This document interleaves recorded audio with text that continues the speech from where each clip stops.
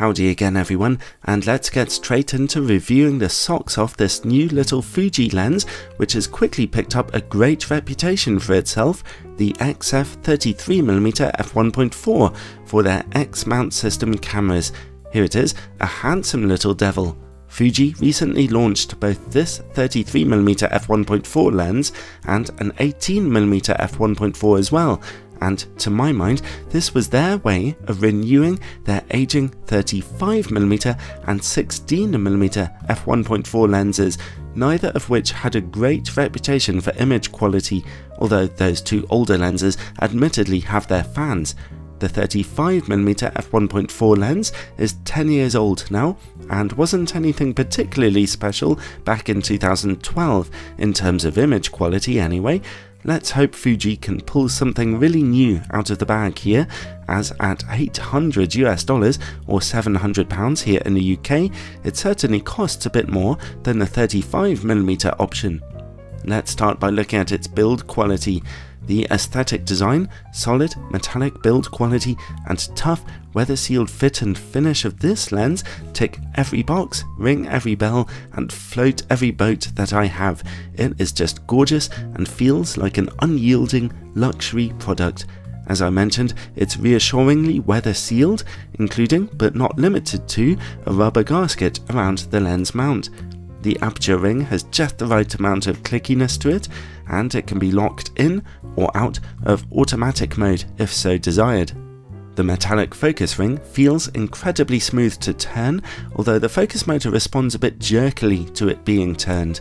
Some good news for video makers is that the lens only displays any real focus breathing when focusing right up to the closest distances, from focusing down to half a meter away or closer, so that is useful too.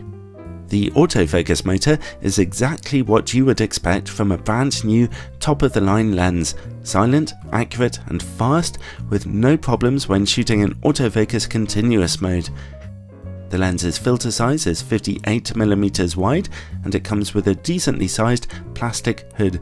The lens does not feature image stabilization.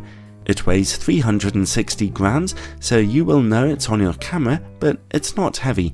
Overall, while this may be a pretty expensive lens to buy, you absolutely will not feel short-changed by its build quality, not for one second. But what about image quality? I'm testing it today on a Fuji X-T3 camera with its 26 megapixel APS-C sized sensor. In-camera corrections, as usual for a Fuji camera, are turned on. At f1.4 straight away we see excellent sharpness and contrast in the middle of the image and the corner image quality a little softer with slightly lower contrast but still very good really. Let's stop down to f2 and right away we see a lovely jump in sharpness. The image quality in those corners is now excellent and stop down to f2.8 for basically perfect sharpness across the entire image.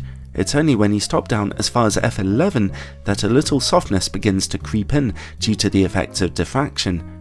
Overall though, the mediocre sharpness of the old 35mm lens has now been replaced with bright, shining excellence, and I'd be happy to use this new lens for any professional application without a moment's hesitation.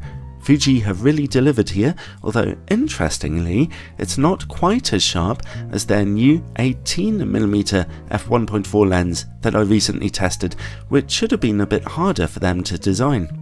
Well, anyway, let's see about this lens's distortion and vignetting by taking some pictures in RAW and processing them with third-party software.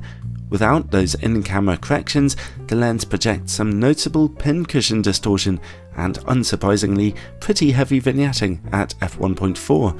Stop down to f2 or f2.8 to see those corners brighten up, although vignetting never completely goes away without corrections. Okay, let's take a look at close-up image quality now. The lens can focus as closely as 30 centimeters to your subject, which is another feather in its cap. I love standard lenses that can focus nice and close. And the further good news is that image quality close-up is virtually as sharp. Stop down to f2 for just a touch of extra sharpness there. Now, let's see how well the lens works against bright lights. Once again, it receives a clean bill of health from me Flaring and glaring are very low here, even when bright lights are right there in the picture. And while we're working in the dark, let's take a look at coma levels. At f1.4, we do see some coma smearing on bright points of light in the corners of your images, although I've seen much worse than this before. Stop down to f2 and it quickly goes away pretty much completely. Now let's zoom out and look for sun stars. You need to stop down to f8 for sun stars to become really noticeable. At f11 and particularly f16, they become pretty impressive. Now let's take a look at the quality of this lens's bokeh. Deeply out of focus backgrounds look lovely and soft here. Particularly bright points of light can jump out a little too much though and interrupt the general smoothness. And finally, related to bokeh comes longitudinal chromatic aberration. At f1.4 you can see just a little colour fringing on bokeh highlights here, with a particular orange colour before the plane of focus. Stop down to f2 and it begins to go away. Overall then, well, just like the new 18mm f1.4 lens that I tested a few months ago, I love, love, love this new Fuji 33mm f1.4. Everything about it is spot on, from its tight and simple build quality to its lovely image quality, which is about as good as you can realistically ask for. It may cost a bit more than the older 35mm f1.4 lens, but it simply plays in a different league altogether, and so it comes highly recommended. Okay, I loved testing that lens. I'm pretty excited about how busy Fuji have been recently. The X system is going from strength to strength. I'm kinda glad I invested in an X-T3 camera. I also love putting these free reviews together for you all. If you'd like to support the channel and get all kinds of bonus content, then do check out my Patreon page in the description below.